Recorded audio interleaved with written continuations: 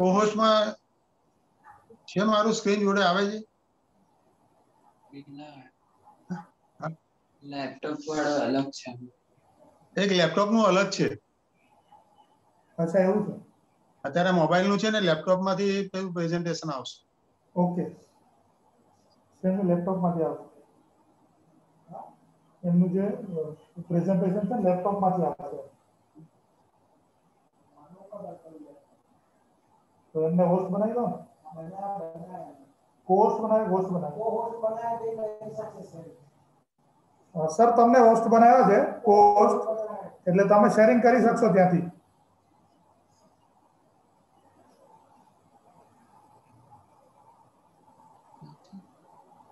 ના host disable participant screen sharing મારે બે છે મારો એક મોબાઈલ થી ઓડિયો છે હેલો તમારું જે મોબાઈલમાં નામ છે એ નામથી કરીએ કે લેપટોપમાં છે એ નામથી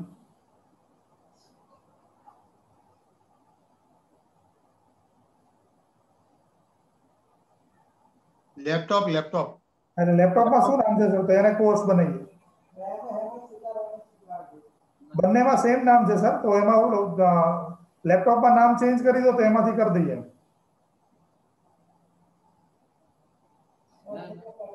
બંને કરી દીધા. વાંધો નહીં. તમારે જેમાંથી શેરિંગ કરવું એ થઈ શકશે.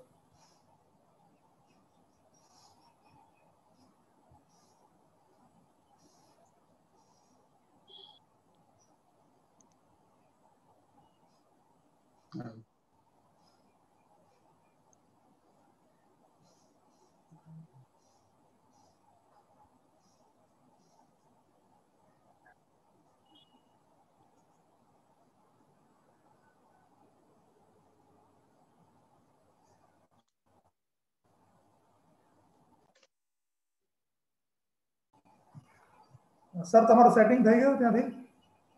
તો શરૂ કરીએ હોસ્ટ નહીં કરે. મારા લેપટોપમાં હોસ્ટ નથી થયું એમ બંનેમાં તમને હોસ્ટ બનાવી દીધા સર મારે અહીંયા નહીં બતાવતું Share screen. શેર થતો નથી સ્ક્રીન શેર નથી થઈ રહી એવું થાય છે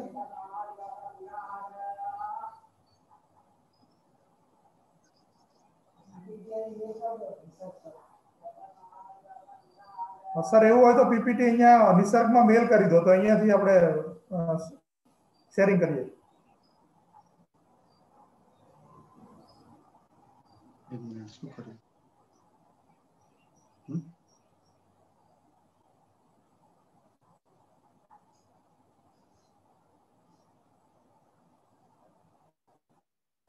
શું કરીએ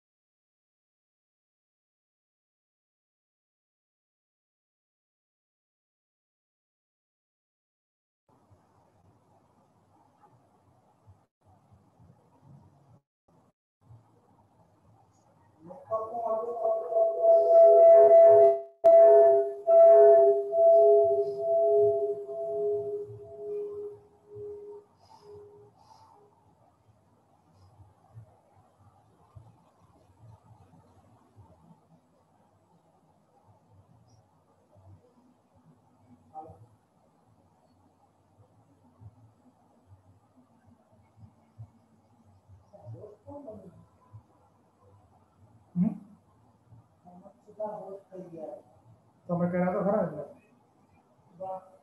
हेमंत सूखा ने तो मना करा।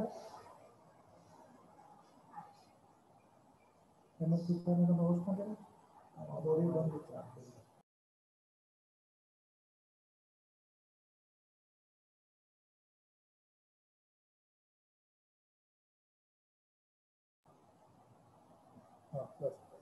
Thank you.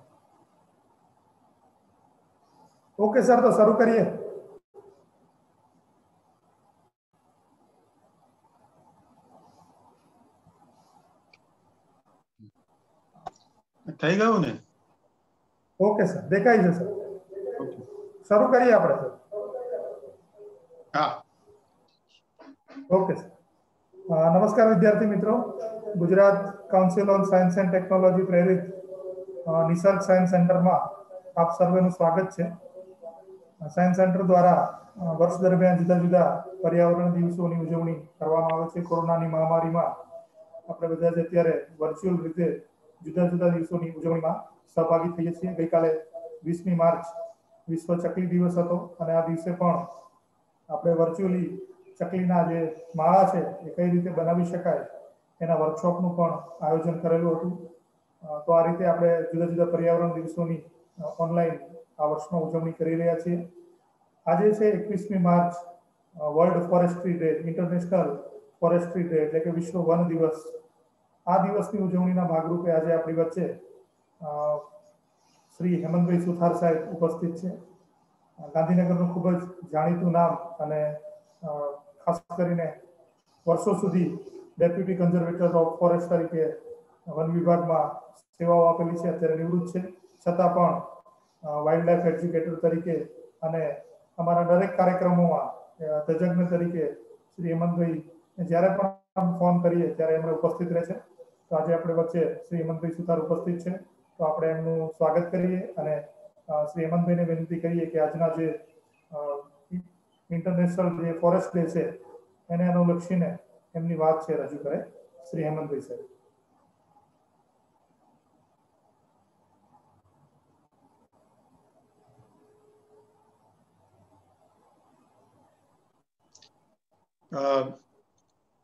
આજના વિ- આપણા વિશ્વાવંદીને સૌને આવકારું છું. ખાસ કરીને હાર્દિકભાઈ, સેવાંગભાઈ અને અનિલભાઈ પટેલ સાહેબ જે નિસર્ગ સાયન્સ સેન્ટર વતીથી આપણે જે આ કાર્યક્રમોની સિરીઝ ચાલતી હોય છે અને કાર્યક્રમો ગોઠવવા, ગોઠવતા હોય છે, એ બહુ સરસ એક આયોજન થતું હોય છે. અને આજનો જે દિવસ છે આપણા માટે બહુ મહત્વનો દિવસ કહી શકાય. એ તમે સૌ જાણો છો કે આજનો દિવસ વિશ્વ વન દિન તરીકે આપણે ઉજવી રહ્યા છીએ. ત્યારે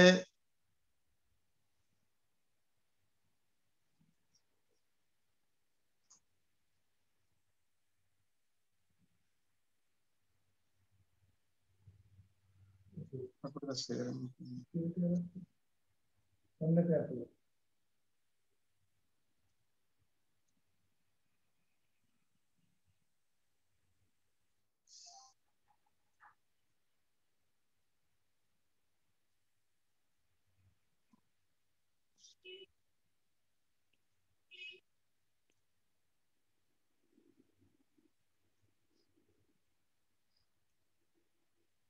તમને ક્યાં ખબર? અચ્છા તો આજે આપણે જે વેબિનારનો જે વિષય છે આપ સૌ જાણો છો વેબિનારનો વિષય આપણે રાખ્યો છે કેમ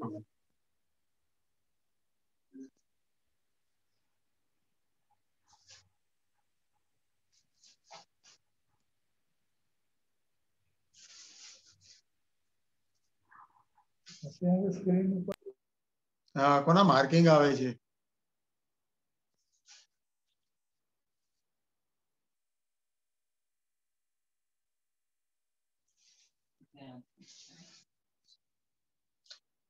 okay forest restoration path of human wellbeing forest restoration જે આપણે એને જેનો અર્થ કહીએ કે અ, વનોનું પુનઃ સ્થાપન ક- કરવાની વાત છે અહીંયા આગળ હવે તમે જુઓ કે વનોનું પુનઃસ્થાપનની વાત આપણે ક્યારે કરતા હોઈએ કે જયારે આપણને એવું હોય કે ભાઈ હવે જંગલોમાં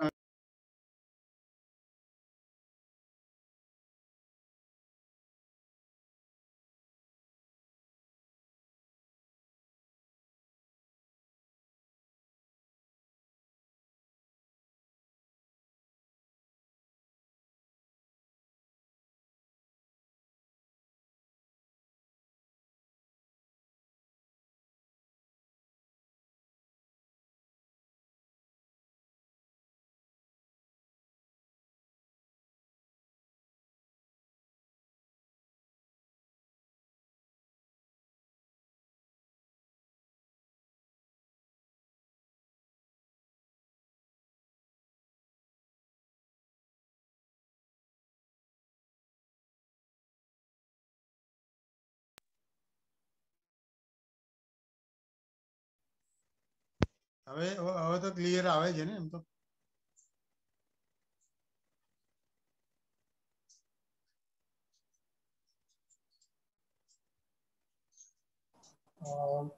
વિદ્યાર્થી મિત્રોને વિનંતી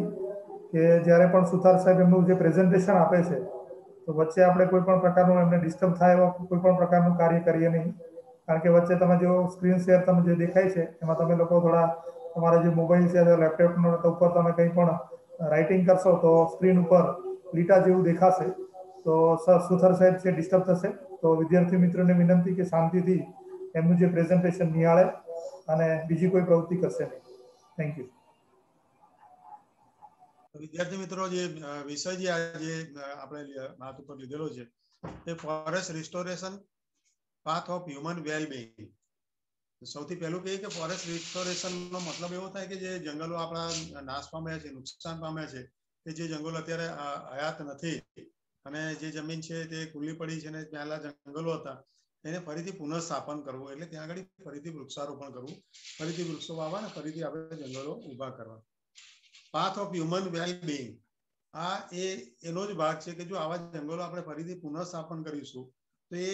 એ આપણે જે માણસો જે છીએ એની સુખાકારી એનો એક રસ્તો છે એક માર્ગ છે કારણ કે અત્યારે આપણે ઘણી બધી સમસ્યાઓનો સામનો કરી રહ્યા છીએ અને બહુ ધ્યાનપૂર્વક આપણે એનું કહીએ કે નોંધ નથી લઈ રહ્યા કે આ શું નુકસાન આપણને થઈ રહ્યું છે તો આ જે આજનો વિષય છે આપણો એના પર આપણે વાત કરવાના છીએ તો તમે જુઓ કે આજનો જે દિવસ કહીએ કે એકવીસમી માર્ચ અને એનું જે થીમ કહેવામાં આવતું હોય છે એ જે વિષય આપણને આપેલો હોય એનો થીમ શું છે એટલે દર વખતે આપણે જે જુદા જુદા પર્યાવરણીય દિવસો ઉજવતા હોઈએ છીએ ત્યારે વિશ્વ કક્ષાએ એક થીમ કે એક વિષય વસ્તુ નક્કી થતી હોય છે અને એ વિષય વસ્તુના આધારે આપણે એ સમગ્ર વર્ષમાં એના ઉપર ધ્યાન આપીને એ વિષય પ્રમાણે આપણે કાર્ય કરતા હોઈએ છીએ અને એ વિષયની પસંદગી પણ એ રીતે થતી હોય છે કે કઈ સમસ્યા એને લગતી ધારો કે વન હોય તો વનને લગતી કઈ સમસ્યાઓ વધારે છે કે કઈ બાબતો પર વિચારણા કરવાની જરૂર છે એ વિષય વસ્તુ નક્કી કરતું હોય છે એટલે કે થીમ નક્કી કરતું હોય છે તો આ ઇન્ટરનેશનલ ડે ઓફ ફોરેસ્ટમાં આપણે જે ફોરેસ્ટ રિસ્ટોરેશન ને પાથ ઓફ રિકવરી એન્ડ વેલબિંગની વાત આ વખતનો થીમ લેવામાં આવેલો છે હવે તમે જુઓ કે ત્યારે બાર હજાર વર્ષ પહેલાની વાત આપણે ધારો કે કરીએ તો બાર હજાર વર્ષ પહેલા છ પોઈન્ટ પાંચ ટ્રિલિયન એટલે એકની ઉપર સત્તર મીંડા કરો એટલા વૃક્ષો આપણી પાસે હતા એટલે six point five multiply by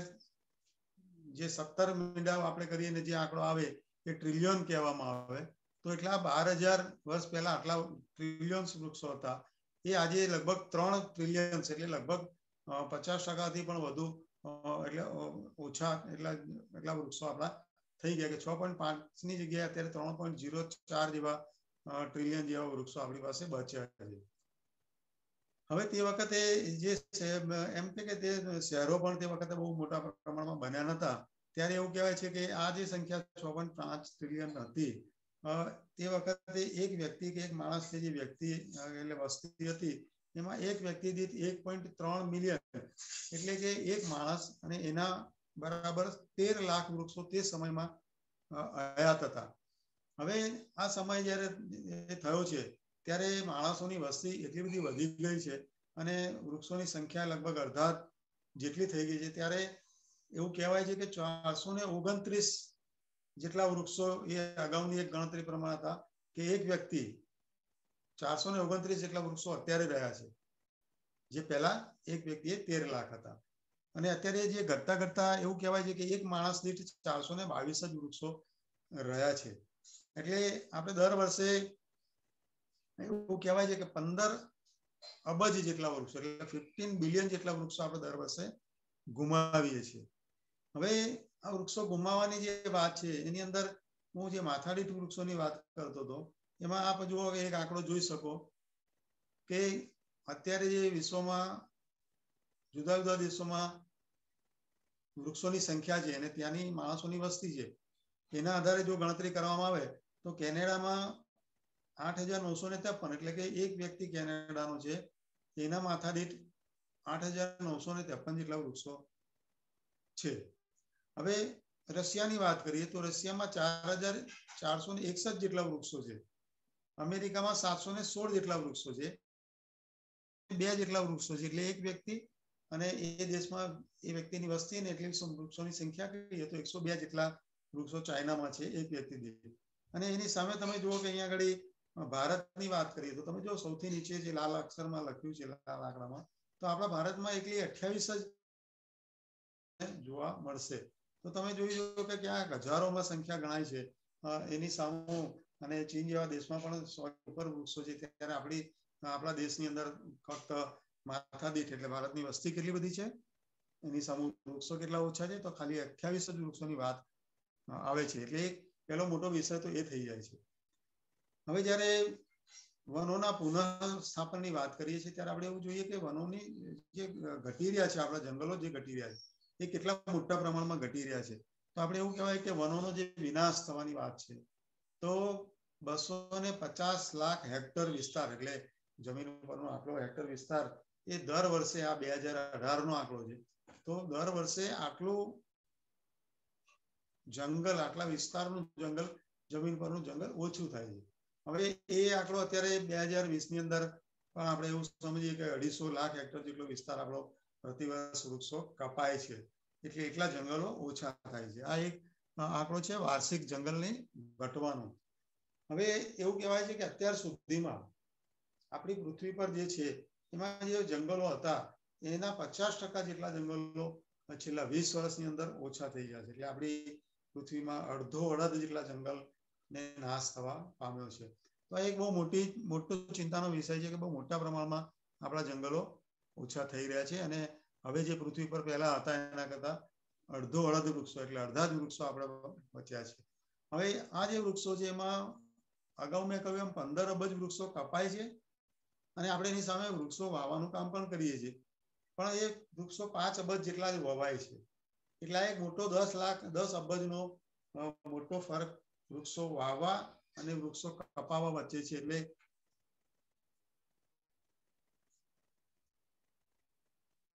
જંગલો સતત ઘટી રહ્યા છે તમે સમજી શકો છો હવે એમાં જુઓ કે આપણે પૃથ્વીની જે અત્યારે ઉંમર છે આપણી એ પૃથ્વીની ચાર પોઈન્ટ છ અબજ વર્ષ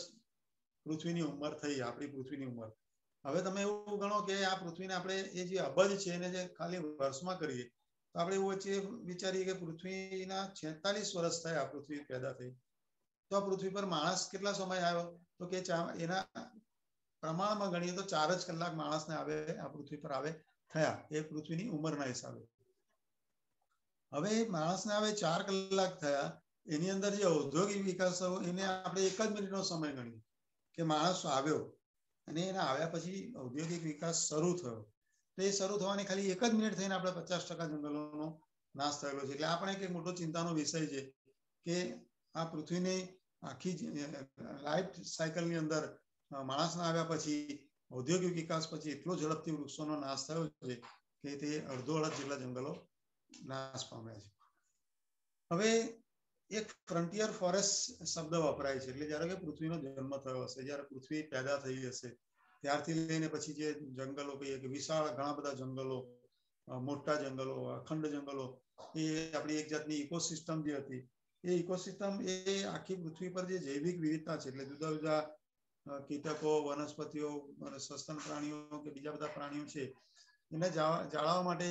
આ ફ્રન્ટિયર ફોરેસ્ટ બહુ જ મહત્વના હતા કારણ કે એ કોઈ વાવેલા નતા માણસો દ્વારા ઊભા કરેલા નતા, પણ એ કુદરતી રીતે થયેલા હતા. તો હવે એ જે કુદરતી જંગલો જે આપણે કહીએ જેને ફ્રન્ટિયર ફોરેસ્ટ કહીએ છીએ,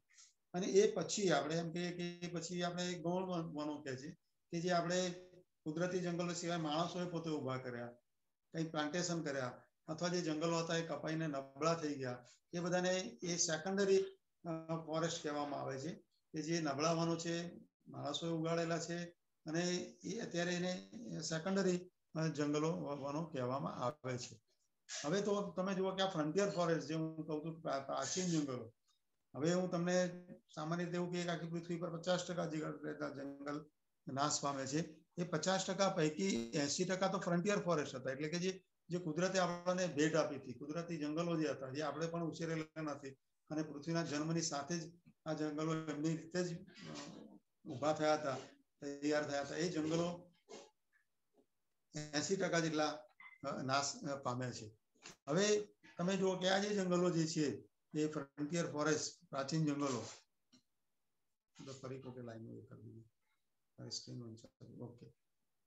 તો એ જંગલોની અંદર એક બીજો એક પ્રકાર છે કે વરસાદી વનો તમે સાંભળ્યું હશે કે વરસાદી વનો એવી જગ્યાના પૃથ્વી પરના વનો છે કે જ્યાં આગળ દિવસમાં એક સમય વરસાદ થતો જ હોય છે અને ખાસ કરીને વિષુવવૃત્તીય પ્રદેશમાં આવા વરસાદી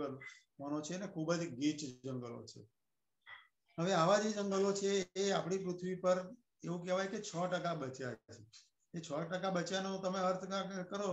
તો એનો મતલબ એવો થયો કે ચોરાણું ટકા જંગલ વરસાદી વનો જેને રેઇન ફોરેસ્ટ કહીએ ચોરાણું ટકા જેટલા ઘટી ગયા છે. અને આ વનોનું મહત્વ તમે જુઓ તો આ વનોનું મહત્વ એટલું બધું છે કે આપણાને જે જુદા જુદા ઔષધીય ચાર દવાઓ મળતી હોય, એમાંથી એક દવા તો આ વરસાદી વનોમાંથી આપણને મળે છે. એટલે આપણે એક આઉટ ઓફ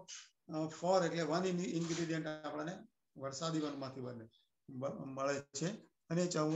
ચોરાણું ટકા નાશ થઈને આપણી પાસે હવે છ જ ટકા વધ્યા છે. અને બીજો ચિંતાજનક આંકડો એનો એ છે કે એની અંદર પ્રતિ મિનિટે બે હજાર જેટલા વૃક્ષ કપાય એટલે તમે આમ એક મિનિટ ગણો અને સામે બે હજાર જેટલા વૃક્ષો અત્યારે પૃથ્વી પરથી કપાતા રહે છે. આ વરસાદી વનો પણ એક ચિંતાજનક આપણો વિષય છે કે એ પણ વનો આપણા ઘણા મોટા પ્રમાણમાં કપાય છે. હવે જે રીતે હું બીજી વાત કરતો હતો કે વનોનો એક બીજો પ્રકાર છે, જેની અંદર ચેરના વનો કહેવાય. આપણે જેને અંગ્રેજીમાં મેંગ્રુવ ફોરેસ્ટ કહીએ.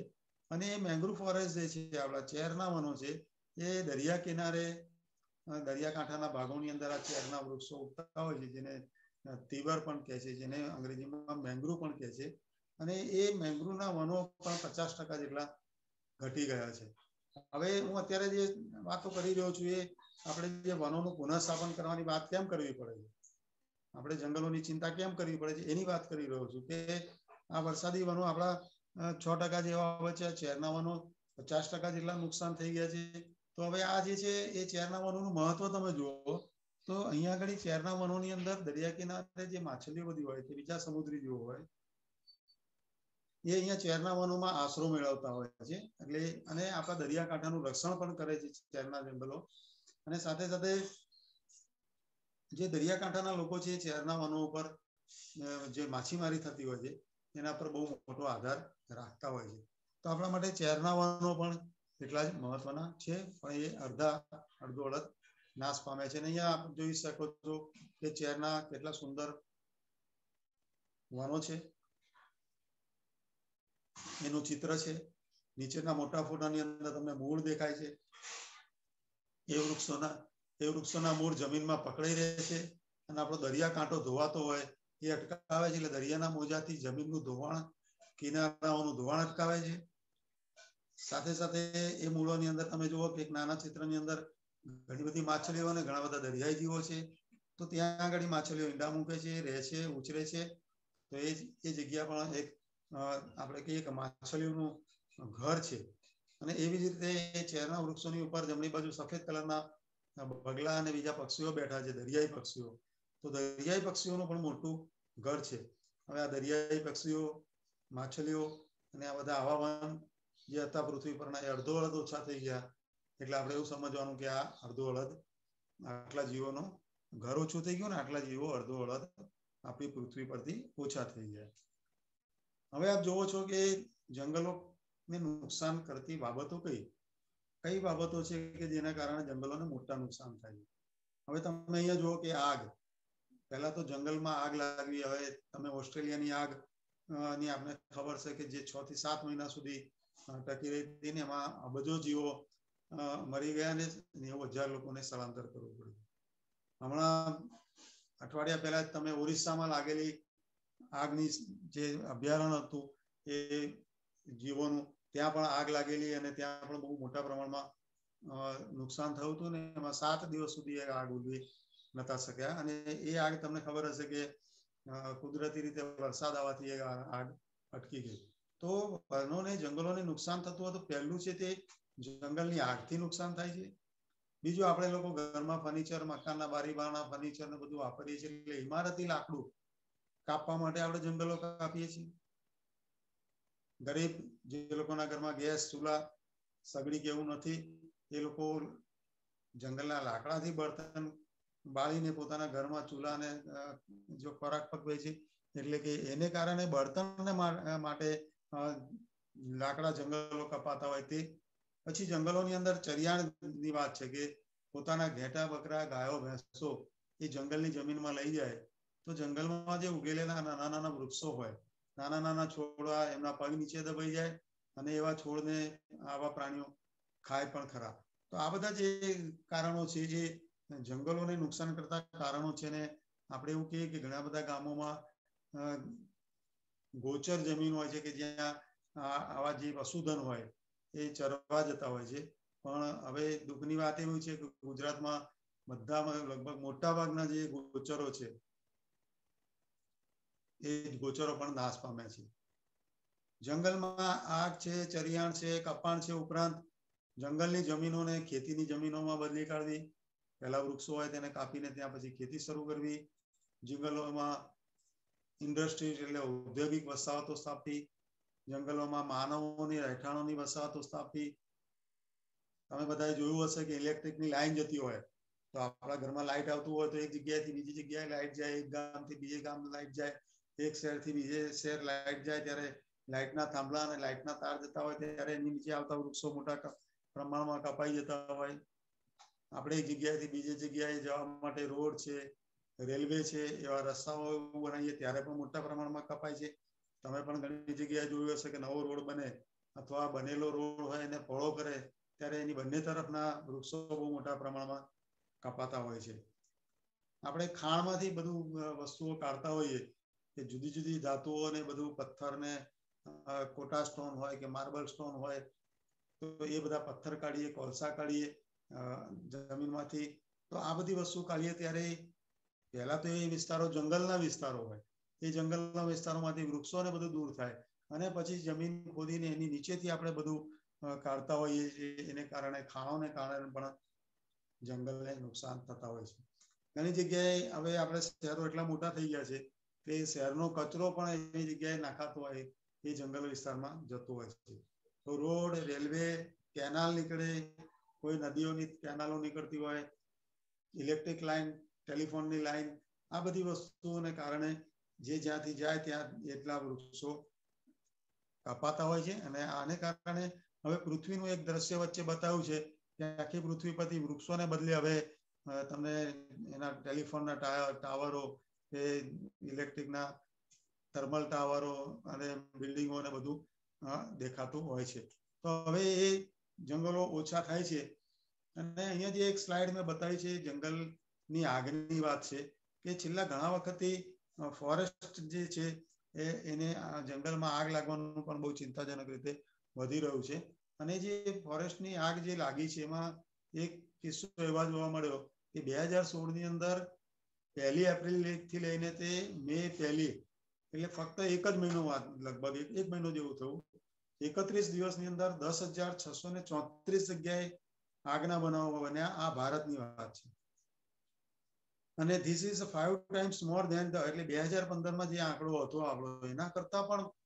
પાંચ ગણો આગ લાગી છે એટલે બે હજાર સોળનું વર્ષ એ ભારતના જંગલો માટે બહુ જ ખરાબ વર્ષ હતું હમણાં પણ આગના કિસ્સાઓ જુદી જુદી જગ્યાએ ભારતમાં અને વિશ્વમાં બની રહ્યા છે અને એમાં એમેઝોનની જંગલમાં પણ બહુ મોટા પ્રમાણમાં આગના કિસ્સાઓ બની રહ્યા છે હવે આગ લાગવાના જે કારણો છે ઘણા બધા કારણો હોય એમાં એવું કહેવાય છે કે માનવ સર્જિત કારણો એટલે પંચો પંચાણું ટકા કારણો માનવ સર્જિત કારણો છે કે જે આગ લાગે છે માનવ પોતે લગાડે છે એમાં. એટલે જંગલ બાળવાની પ્રવૃત્તિ ચાલે છે. અને એવું કહેવાય છે કે ત્રણસો ને પચાસ લાખ હેક્ટર પ્રતિ વર્ષ જંગલમાં આગ લાગે છે. એટલે આટલા હેક્ટર વિસ્તાર જે છે એમાં પ્રતિવર્ષ આગ લાગતી હોય છે. હવે તમે જંગલોને નાશ થાય, જંગલોને નુકસાન થાય તો આપણે એવું સમજીએ કે વૃક્ષને એટલું નુકસાન થાય.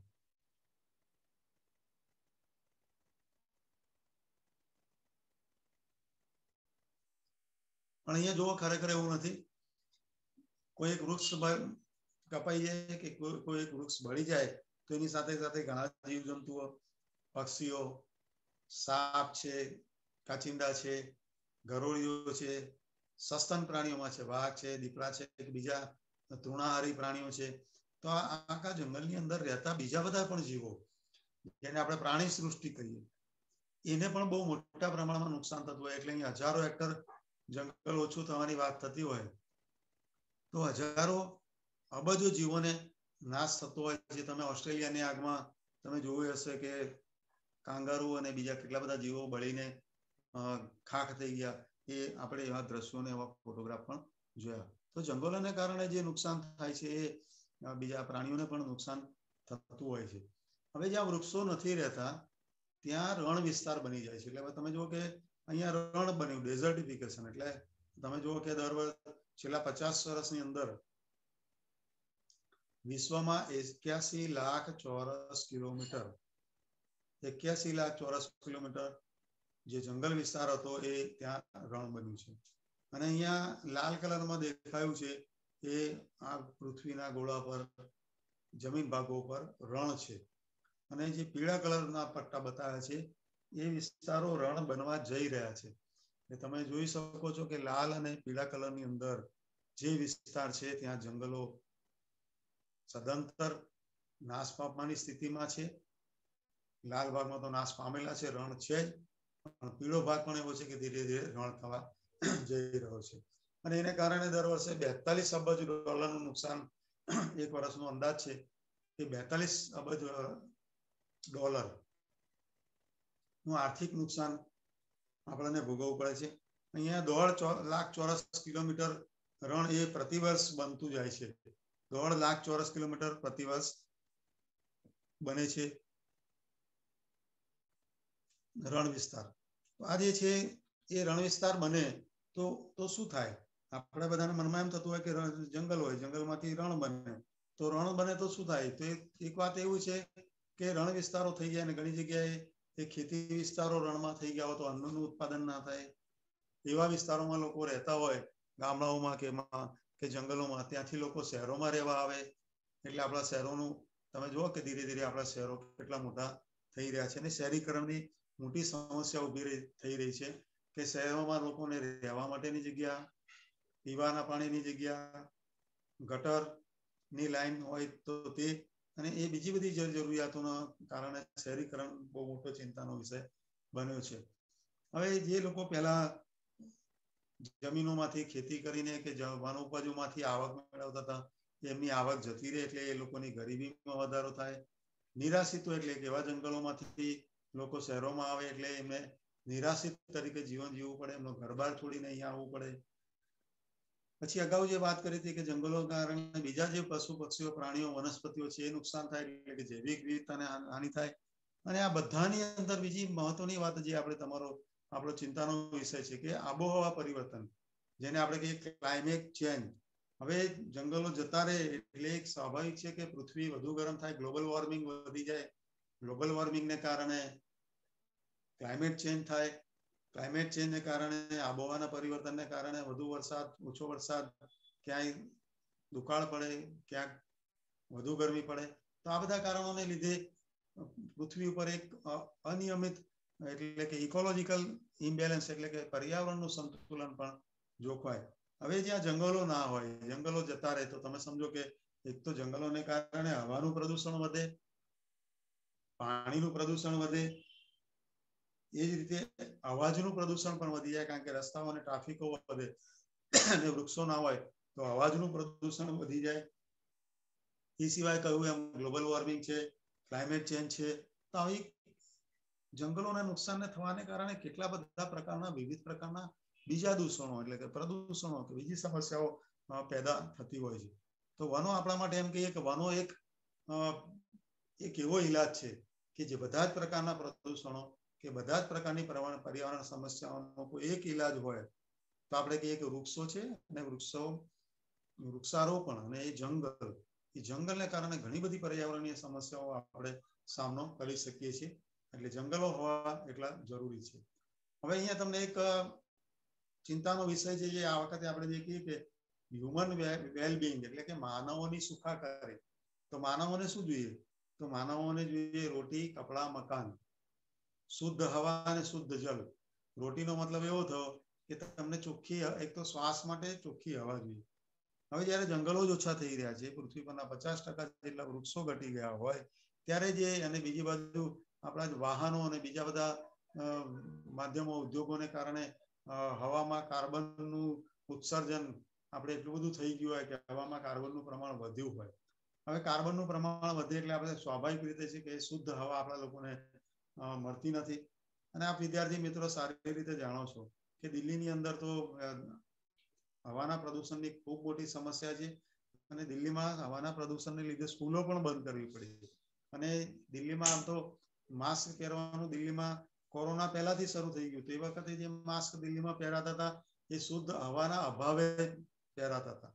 એટલે આપ વિચાર કરી લો કે જંગલો ના હોય વૃક્ષો ના હોય તો હવા દૂષિત થાય અને અહીંયા બે હજાર ઓગણીસ નો આંકડો છે કે વિશ્વની અંદર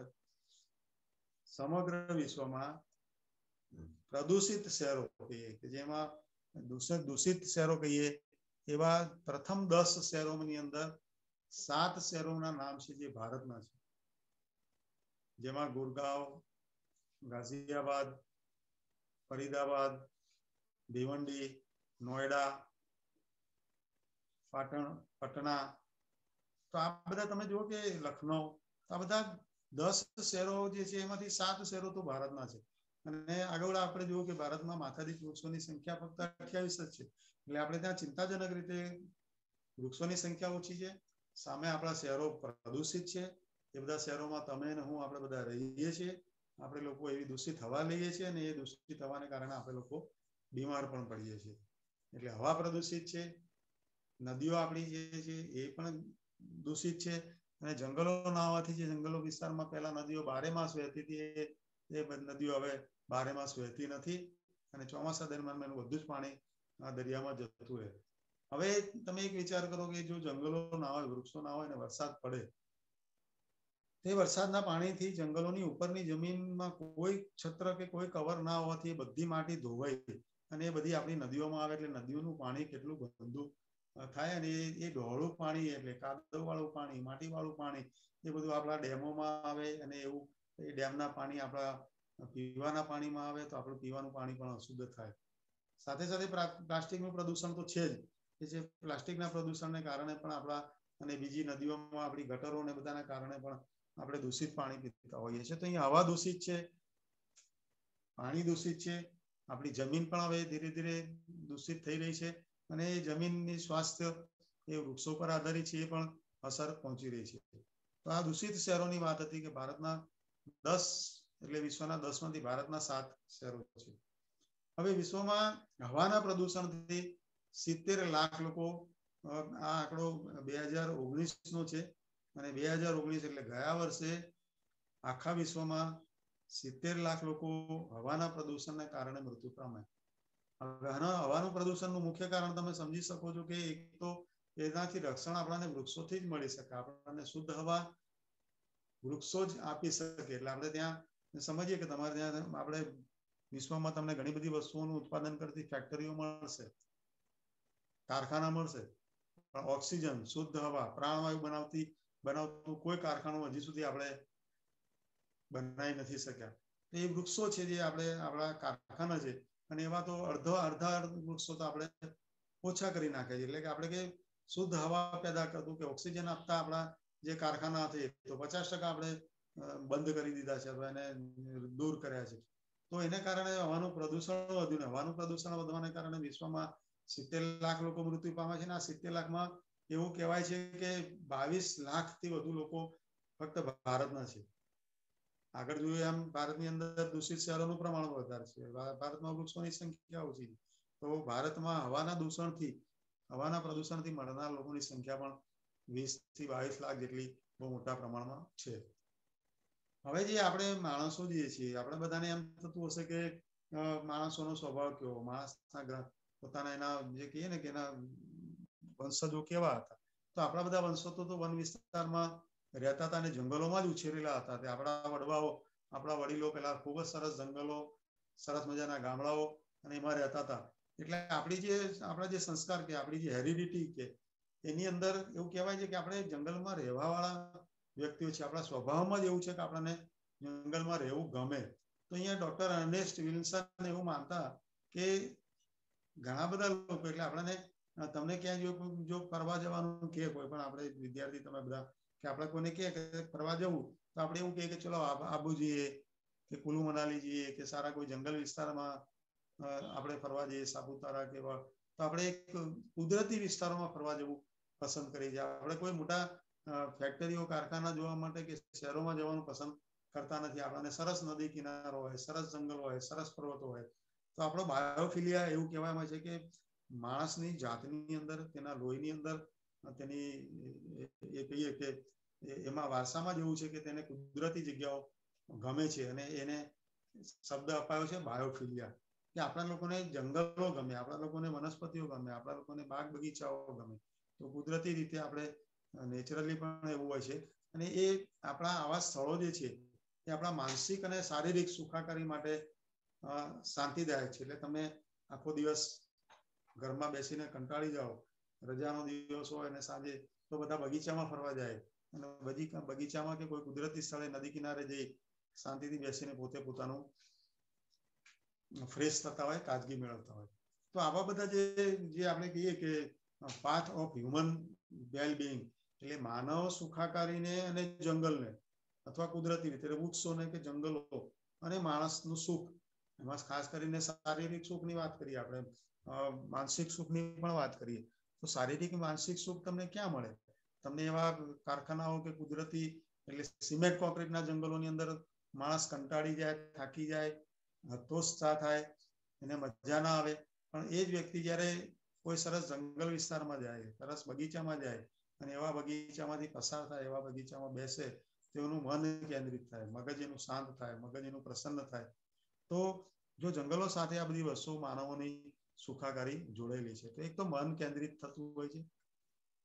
બીજું જે મેં શ્વાસની વાત કરી કે શુદ્ધ હવા હોય તો અસ્થમાના રોગી જો હોય ધારો કે કોઈ તો અસ્થમાના રોગીઓને જ્યાં વૃક્ષો સારા હોય એવા વૃક્ષોમાં ચોખ્ખી હવા રહેલી હોય છે ને એવા સારા ઘનઘોર વિસ્તારો હરિયાળા વિસ્તારોની અંદરની હવા ચોખ્ખી હોય અને એમાં હવામાં શુદ્ધ હોવાથી પ્રદૂષકો ઓછા હોવાથી અસ્થમાની અસર કે શ્વસનના રોગો ઓછા થાય તમે અમદાવાદ જેવા ગીચ વિસ્તારમાં ટ્રાફિક વાળા વિસ્તારમાં કલાક બે કલાક જઈને આવો તો તમને શ્વાસની તકલીફ પડે ને શ્વાસ લેવામાં બળતરા થતી હોય નાક બળે માથું ચડી જાય એવું બધું થતું હોય એ તમે અનુભવ્યું હશે કે આપણે કોઈ શહેરોમાં ગીચ ટ્રાફિક વાળા વિસ્તારમાં થોડો સમય પણ બેસીને આવીએ કે ફરીને આવીએ તો આપણે લોકોને કેટલું બધું થાક કંટાળો આવી જતો હોય છે તો એવી જગ્યાએ અસ્થમાના જે રોગીઓ છે એને તમે જુઓ કે જ્યાં સરસ મજાના વૃક્ષો હોય અને ચોખ્ખી હોય તો ત્યાં અસ્થમાના રોગીઓને સારું લાગે છે હવે અહીંયા જે ચિત્ર એક બતાવ્યું છે તમે જુઓ કે વૃક્ષો જે છે એટલે કે આપણા ફેફસા જે છે એ એ એક વૃક્ષોનું જે પ્રતીક છે એમ અને એ જે વૃક્ષો છે કે શુદ્ધ હવા છે એ આપણા ફેફસા સુધી જાય છે એટલે વૃક્ષ, લીલોતરી, હરિયાળી અને સીધું આપણું, આપણા ફેફસા સાથેનું અહીંયા ચિત્રમાં જોડાણ કરેલું છે. તો આપણા માટે વૃક્ષો કેટલા ઉપયોગી છે. હવે તમે જુઓ કે વિવિધ પ્રકારના જે પોલ્યુશન છે, પ્રદૂષણ છે, જેમાં હવાનું પ્રદૂષણ છે, પાણીનું પ્રદૂષણ છે, જમીનનું પ્રદૂષણ છે, આ બધા પ્રદૂષણો વૃક્ષોના હોવાથી કાબુમાં રહેતા હોય અથવા ઓછા થાય.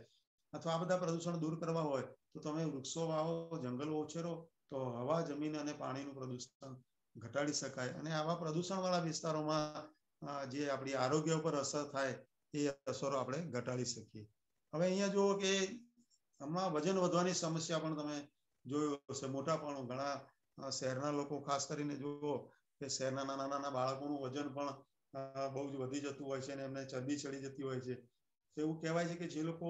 હરિયાળા વિસ્તારોમાં એટલે આપણે એમ કે ને કે ગાંધીનગર જેવા લીલા શહેરમાં જ્યાં વૃક્ષોની સંખ્યા વધારે છે ગામડાઓમાં રહેતા વ્યક્તિઓ જે છે તો એમની અંદર એનું વજન એટલું ઝડપથી વધતું નથી એટલે હરિયાળા વિસ્તારોમાં તમે રહો તો તમે ત્રણ ગણા શારીરિક રીતે વધારે સક્રિય રહેતા હોય છે તમને વજન ઘટવાની સમસ્યા એટલી ઝડપથી નડતી નથી હોતી તો એમાં ઓછી વૃક્ષાચ્છાદિત પ્રદેશો હોય ત્યાં ચાલીસ ટકા જેટલી વજન વધવાની સંભાવના વધી જાય છે. એટલે આ એક બહુ એક અભ્યાસ થયેલો છે કે જે નાના નાના બાળકો છે, એ બાળકો એ વધુ વૃક્ષો વાળા જેની છત્રછાયા વધુ હોય, હરિયાળા વિસ્તારો હોય ગ્રીનરી વાળા વિસ્તારોમાં રહે, તો એ બાળકો બહુ વીસ ટકા જેટલી એમની વજન વધવાની કે સમસ્યા ઘટી શકે છે. આ બધું વૈજ્ઞાનિક બાબતો છે. આપણું શારીરિક સ્વાસ્થ્ય છે એટલે એવું પણ જોવા જોઈએ કે કોઈ પેશન્ટ હતા બીમાર લોકોને ઓપરેશન કર્યા અને એક સંશોધનમાં એવું જોવા મળ્યું કે જે લોકોના ઓપરેશન કર્યા પછી એ લોકોને જે રૂમની અંદર રાખે સ્પેશિયલ રૂમમાં કે એમાં એમની પથારી એની બેડ હોય દર્દીની બેડ એ બેડમાં કોઈ બારી હોય ખુલ્લી અને બારીની બહારથી સરસ મજાનું એને ગાર્ડન દેખાતું હોય વૃક્ષો દેખાતા હોય કુદરતી દ્રશ્યો દેખાતા હોય એવા પથારીમાં એવી બેડમાં એવી હોસ્પિટલની જગ્યામાં જ્યારે કોઈ પેશન્ટને મૂકવામાં આવ્યો તો પેશન્ટને એ એની એમાંથી નકારાત્મકતા એનું દર્દ એની તકલીફ એનો દુખાવો ઝડપથી ઓછો થઈ ગયો જ્યારે એની સામે એવું પણ જોવામાં આવ્યું કે જે દર્દીઓને બારી બહારની તરફ કોઈ બિલ્ડિંગ હોય કે કોઈ શહેર કે નગરના મકાનો કે એવું દેખાતું હોય એવી જગ્યાએ રાખ્યા તો એ દર્દીઓ વહેલી તકે એમને નકારાત્મકતા તેમનો દુખાવામાં એમને સાજા થવામાં વિલંબ થયો મોડું થયું તો એ કુદરતી દ્રશ્યો કે એના કારણે અહીંયા આગળ જે કે અમેરિકાનો એક રિપોર્ટ અહીંયા આગળ છે અને એમાં એ બતાવ્યું છે કે જે જગ્યાઓ છે જ્યાં કુદરતી રીતે ગ્રીન પેસ જ્યાં વધારે છે એવી જગ્યાઓ તો ત્યાં આગળ જે પેઇન કિલર દવાઓ જે છે કે દર્દ ઓછું કરવાની દવાઓ એ એવા દર્દીઓને બહુ ઝડપથી છઠ્ઠા સાતમા દિવસે એની રિકવરી આવી ગઈ. અને જ્યારે બીજા દર્દીઓ હતા કે જેના બારીની બહારથી એને સિમેન્ટની દિવાલો કે કોન્ક્રીટના જંગલો દેખાતા હતા, એ દર્દીઓ ઝડપથી સાજા નતા થતા ને એમને પેન કિલર દવાઓ વધુ આપી. અહીંયા ગ્રીન પેસ કોઈ સોસાયટીની અંદર સરસ મજાના વૃક્ષો વાવેલા હોય અને સરસ મજાની સોસાયટી હરિયાળ હરિયાળી સોસાયટી હોય કોઈ ગામ હોય કોઈ શહેર હોય એમાં વૃક્ષોની સંખ્યા જો જેટલી સારી હોય જેટલી વધારે હોય એટલી ત્યાંના શહેરના લોકોનું આરોગ્ય વધારે સારું રહે છે એવો એક અહીંયા ગ્રાફ બતાવ્યો છે અહીંયા અમેરિકામાં એક સંશોધન થયેલું કે ગ્રીન પેસ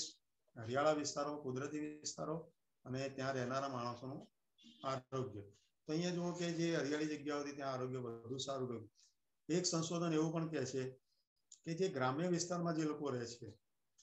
અને જે લોકો શહેરના વિસ્તારોમાં રહે છે, એવું કહે છે કે જે શહેરમાં રહે છે, એ લોકો વધારે બીમાર પડતા જોવા મળે છે, એમનું આયુષ્ય ટૂંકું હોય છે. જ્યારે શહેરના લોકો જે છે, એના કરતા ગામડામાં રહેતા, કુદરતી વિસ્તારોમાં રહેતા લોકો ઓછા બીમાર પડે છે અને એમનું આરોગ્ય પણ વધારે સારું રહેતું હોય છે. તો અહીંયા આપણે જંગલો કે વનો એ માનવ જીવન ઉપર એટલે માનવના સુખાકારી પર કેવી અસર કરી શકે તે બતાવ્યું છે. હરિયાળી જગ્યાઓ અને આરોગ્ય વચ્ચેનો સહસંબંધ. તો એ મેં તમને કહ્યું તેમ, અને અહીંયા અઢી લાખ લોકોનો સર્વે કરવામાં આવ્યો હતો, અને જુદા જુદા શહેરો, જુદા જુદા વિસ્તારો અને જુદા જુદા સમાજના આંકડા જોતા એવું જોવા મળ્યું કે હરિયાળા વિસ્તારોમાં, જંગલોમાં, સારા ગાર્ડનિંગ વાળા વિસ્તારોમાં રહેતા લોકોનું આયુષ્ય અને આરોગ્ય બંને સારું હતું. અહીંયા ફોરેસ્ટ વનાચ્છાદન વિસ્તારો અને તબીબી ખર્ચ હવે જે બીમારીની વાત હતી, એક તો આયુષ્ય વધવાની વાત છે લાંબુ આયુષ્ય જીવવાનું વાત છે, અને સાથે સાથે તમને આરોગ્યનો ખર્ચ, તમે દવાઓ ખાવાનો ખર્ચ તમારા, તમે સારા વિસ્તારમાં રહેતા હો, તમારી આજુબાજુ જંગલ હોય કે બાગ બગીચાઓ હોય કે વૃક્ષો હોય, તો ત્યાં તમે ઓછા બીમાર પડો છો ને ત્યાં દવાના દવાના ખર્ચ પણ ઓછા આવે છે. તો અહીંયા વનાચ્છાદન અને તબીબી ખર્ચ તો આ એ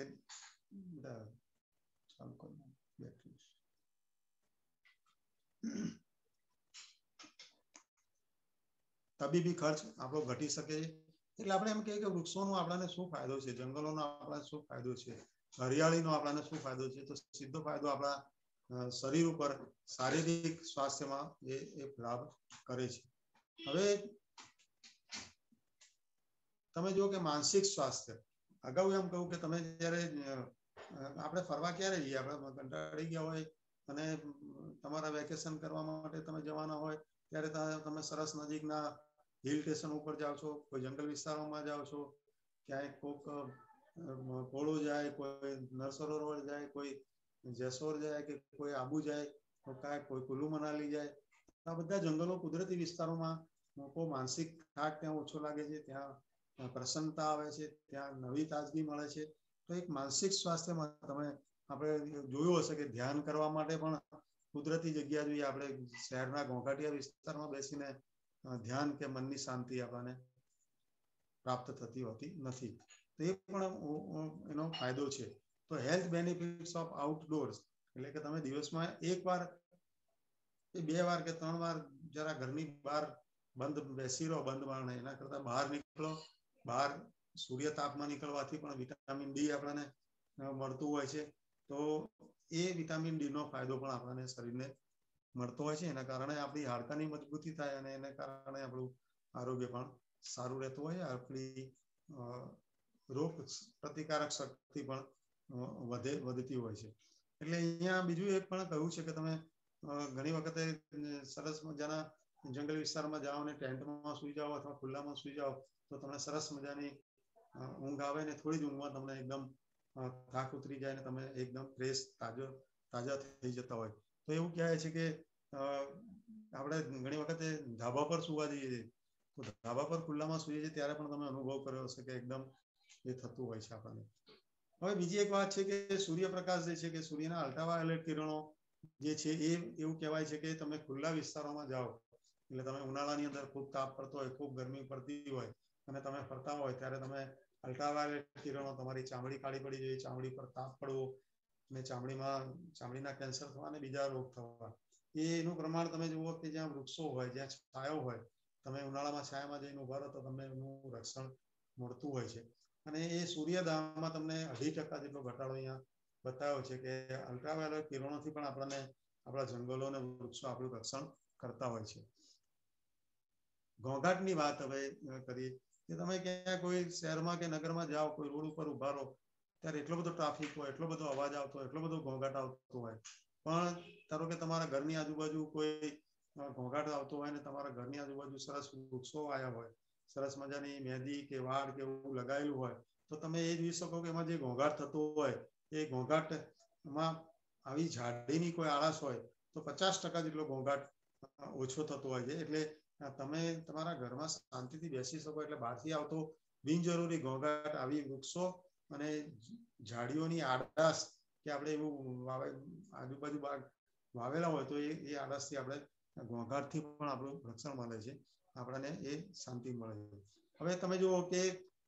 હવે તમે રોડની બંધ ક્યારેક ક્યાંક જતા હોય કે અમદાવાદથી વડોદરા જાઓ, અમદાવાદથી હિંમતનગર કે કંઈક ક્યાં જતા હો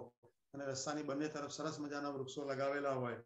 તો આવા બધા જે વૃક્ષો લગાવ્યા હોય ત્યારે કોઈ ડ્રાઇવિંગ કરતું હોય ધારો કે કોઈ ટ્રકના ડ્રાઈવર હોય કે આપણા કુટુંબના કોઈ સભ્ય પપ્પા કે કોઈ ચલાવતું હોય અને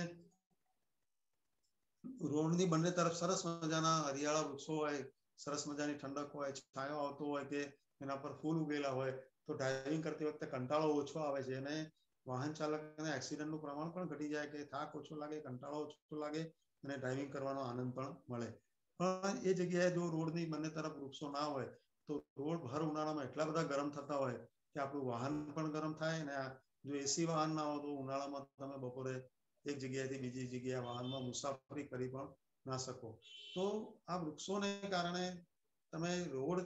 ઉપર પણ વૃક્ષો લગાવેલા હોય તો તમે કેટલો આનંદ આવતો હોય તો એ અકસ્માતમાં પણ ઘટાડો થાય અને એ પણ ઘટે હવે તમે જુઓ કે વૃક્ષો અને કુદરતી દ્રશ્યોમાં જ્યાં સરસ મજાના બાગ બગીચાઓ હોય સરસ મજાના લીલા શહેરો હોય તેમાં બધા જે લોકો રહેતા હોય છે એ લોકોમાં એવું જોવા મળ્યું છે કે હિંસાનું પ્રમાણ પણ ઘટે એટલે ઘરની અંદર ઘણી વખતે બહુ જ ગરમી લાગતી હોય બહુ ઠંડક ના હોય વૃક્ષો ના હોય લીલોતરી ના હોય કુદરતી દ્રશ્યો ના હોય તો માણસનું મગજ કંટાળી જાય છે ગુસ્સો આવે છે ને ઘણી વખતે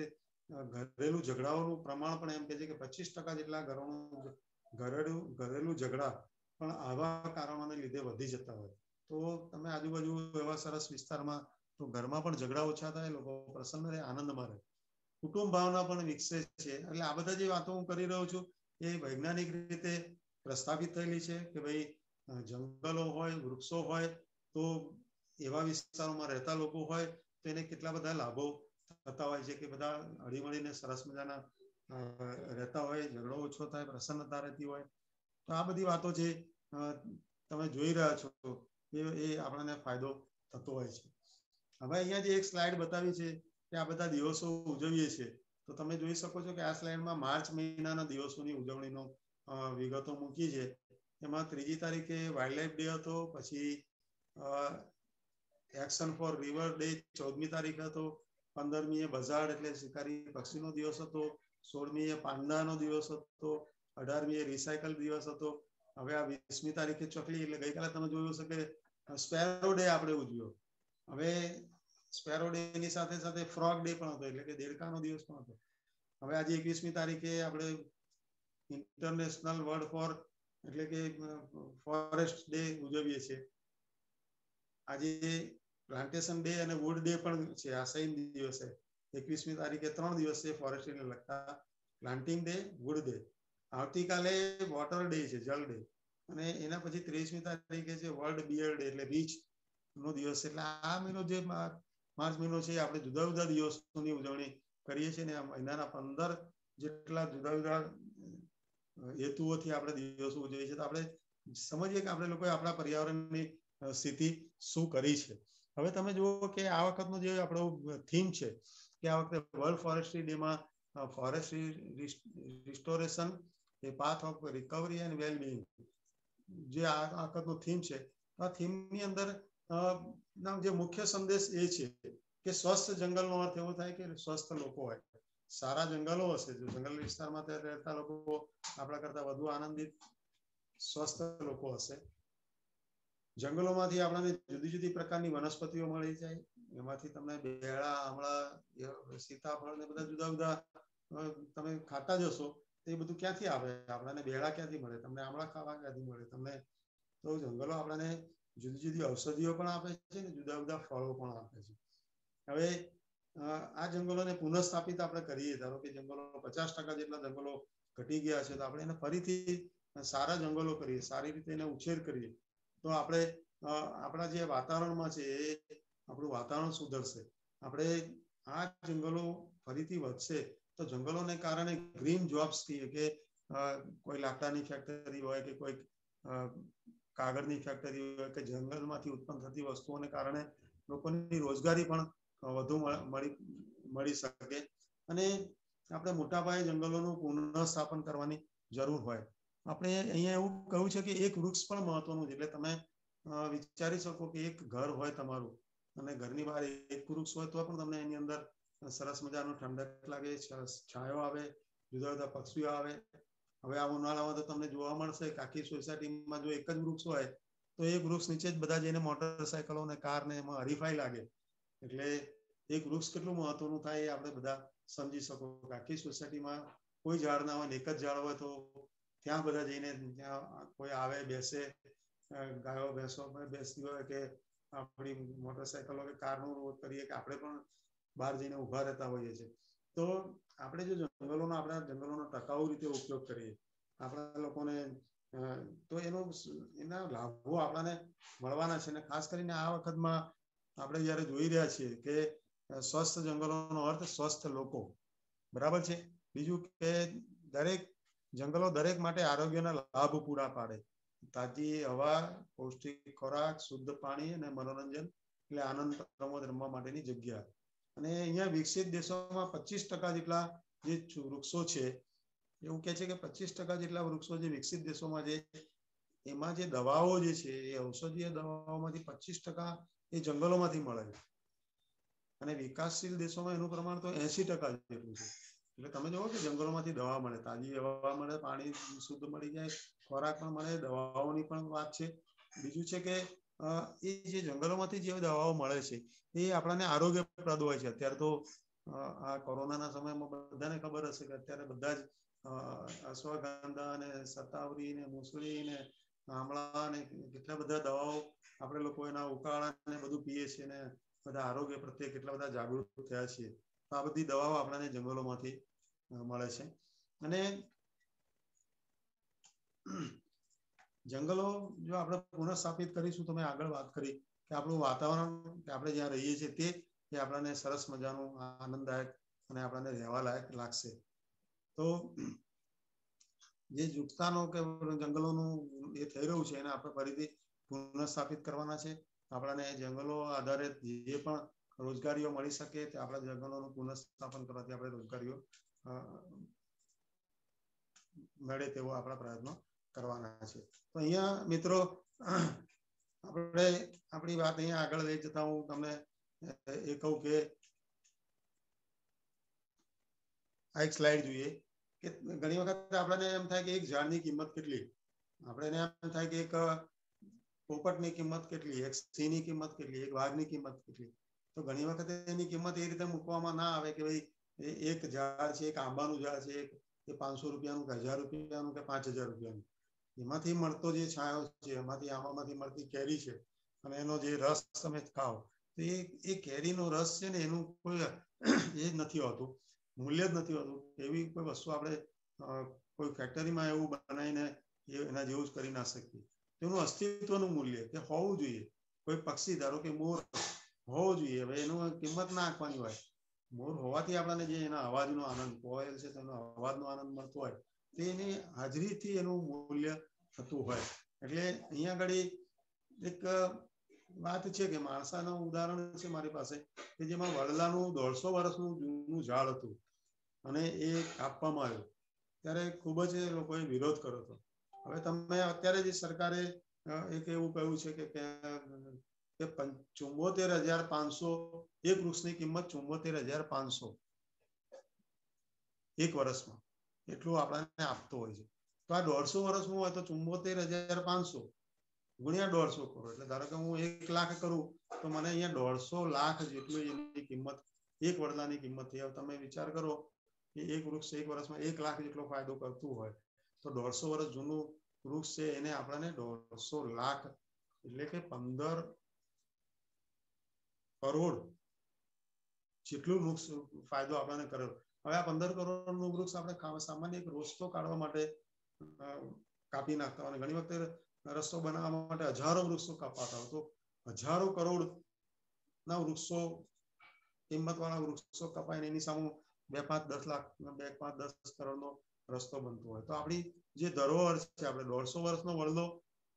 દોઢસો વર્ષ પછી મળે તો દોઢસો વર્ષ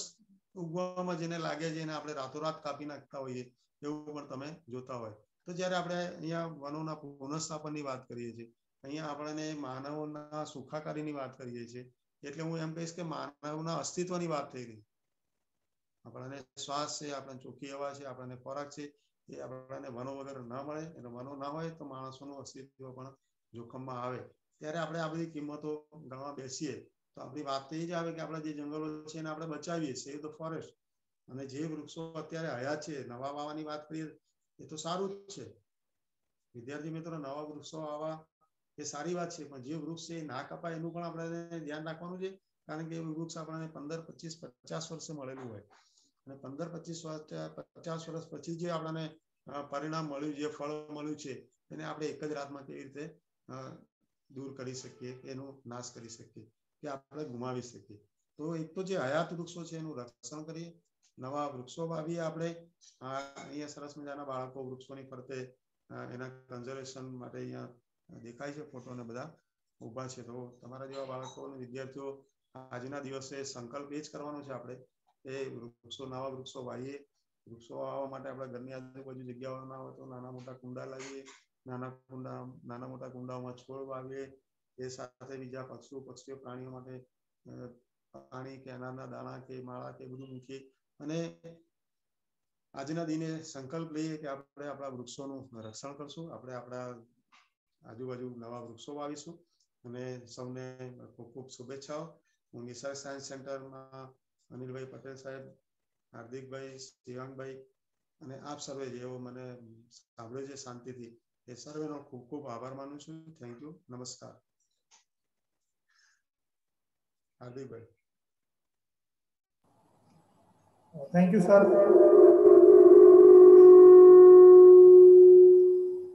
સુતાર સાહેબનો ખૂબ ખૂબ આભાર વૃક્ષોનું મહત્વ વિશે એમણે ખૂબ સરસ આપણને પાવર પોઈન્ટ પ્રેઝન્ટેશન દ્વારા ખૂબ જ સરસ માહિતી આપી વૃક્ષોના જે દસ ફાયદાઓ જે છે જે આપણા માનવ જીવન સાથે સંકળાયેલા છે એ ખૂબ જ જરૂરી છે અને આપણે પણ આજે એક પ્રતિજ્ઞા કરીએ કે